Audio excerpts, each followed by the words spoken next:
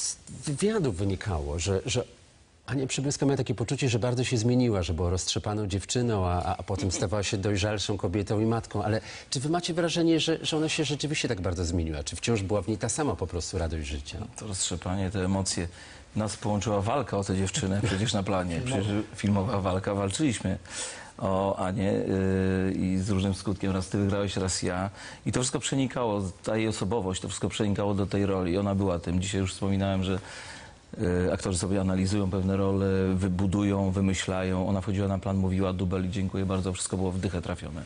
I, I to było dowodem na to, że to, jaka ona jest, to wszystko przenika również do tej roli. Później część osób po kilku latach się zdziwiła, w jaki sposób ona traktuje również rodzinę, co było dla mnie również wielkim zaskoczeniem. To było number one, to była dla niej podstawowa rzecz, rzecz w życiu rodzina. No I dała, dawała tego dowody każdego dnia i to było świetne w tym. Wy- Wydaje się, że doświadczenia życiowe powinny czynić z nas ludzi mądrych. Ale to jest teoria. Najważniejsze, jak dzisiaj wspominamy Anię i patrzymy na jej zdjęcia, na to, jak to zdjęcie kolorowe powoli staje się czarno-białe, jest to, żeby nie zgubić światła życiowego, pogody.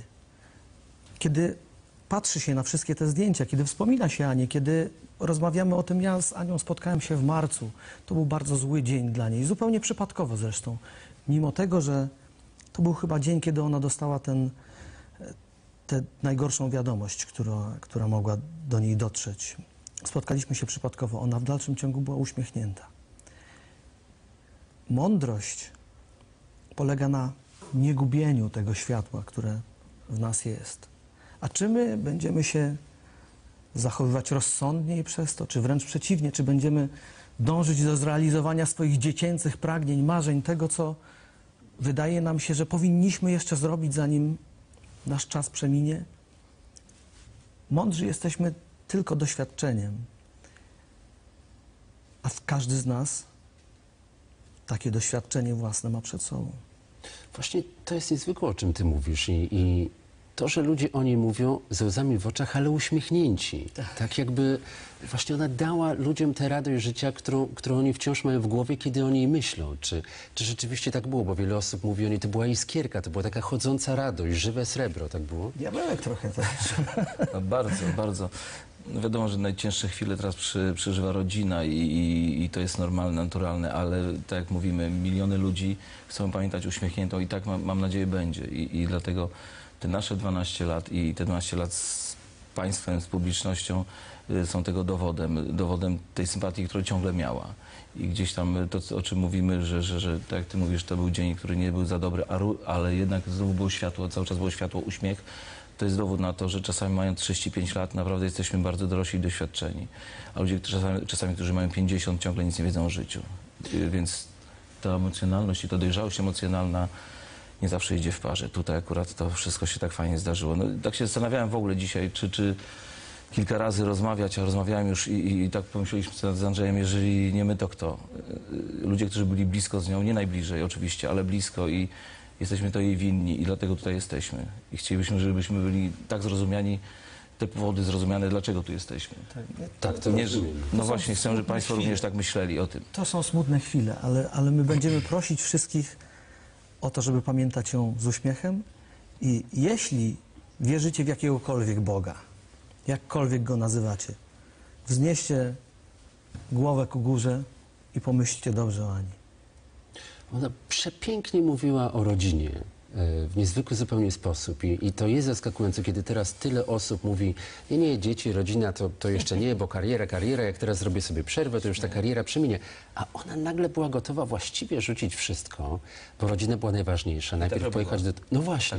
Czy wyście byli wtedy zdziwieni? Skąd w tej dziewczynie, która mogłaby powiedzieć, nie, nie, to ja teraz film, seriale, a ona mówi, nie, No, dzieci. To, to jest fajne, że te, tych kilka lat te, telewizje, również publiczna, czy TVN, czy Polsat, wszystkie czekały na nią. I ona decydowała, że czegoś nie bierze. I to nie tylko dlatego w związku ze zdrowiem, ale dlatego, że była rodzina. Ale to jest Dlatego, że jechała gdzieś z mężem, z dziećmi. Podstawowa różnica między celebrytą a człowiekiem, artystą. Celebryta wybiera kto- karierę, a człowiek rodzinę. Tak, dlatego że y, ta umiejętność polega chyba na schodzeniu ze sceny. Przychodzi się y, y, na plan zdjęciowy i z niego się wychodzi, a są ludzie, którzy po prostu ciągle na planie? żyją ciągle na planie, ciągle w świetle, jeśli nie reflektorów, to słonecznym w taki sposób, żeby jak własnym, najlepiej fotografowali się. E, można tak. Nie, nie, nie nam sądzić o tym, ale to, to nie jest dobry pomysł na życie. A czy wy, wyście byli zaskoczeni, że ta szalona właśnie na początku dziewczyna, ten, ten diabełek, staje się osobą tak dojrzałą życiową, która dokonuje takich wyborów i, i, i mówi o tym w tak przekonujący, ale i wiarygodny, Ja miałem prawdziwy taki moment sposób. kilka lat po rozpoczęciu pracy, kiedy właśnie była taka, przyszła uśmiechnięta, wesoła i gdzieś tam e, zobaczyłem e, ten moment właśnie małżeństwa, dzieci i byłem zdziwiony. I wtedy już widziałem, jak ludzie się dziwią, czyli ludzie, którzy nas spotykają, którzy nas widzą, gdzieś tam dotykają naszej prywatności, byli strasznie zdziwieni. Jak to? Anka, rodzina, dzieci? Tak, właśnie ona. I ona się z tego śmiała. I ona mówiła, właśnie dawała ludziom przytyczka w nos właśnie, że tak należy robić. A była przecież tak młodą dziewczyną. I to było świetne. To jest największa wartość, jaką tutaj yy, można było wynieść z tego i gdzieś tam jest bazą. No ciągle o tym mówimy.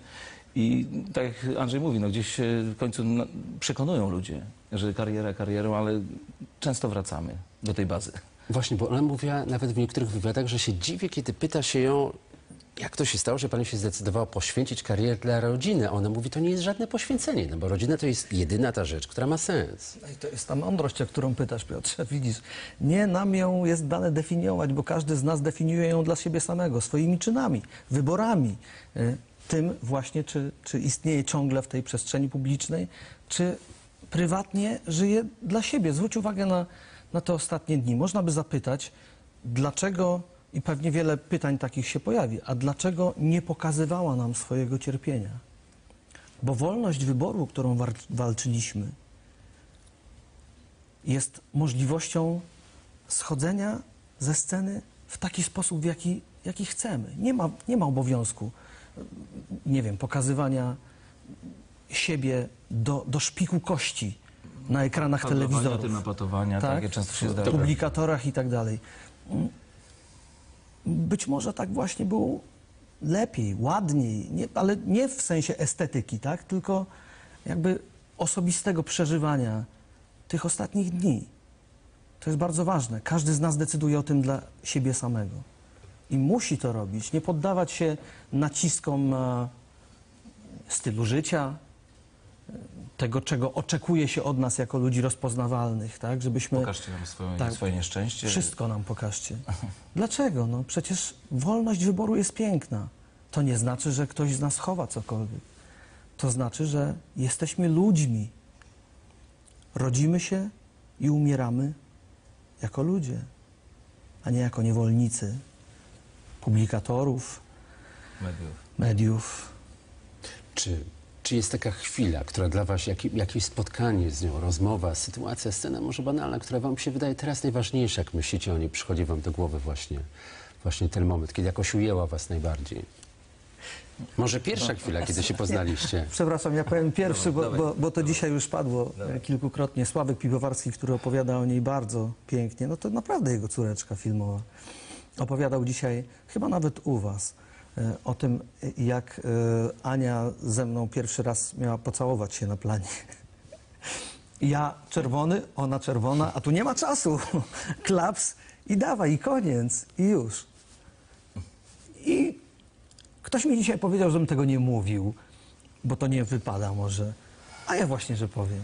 Pięknie się całowała. Naprawdę.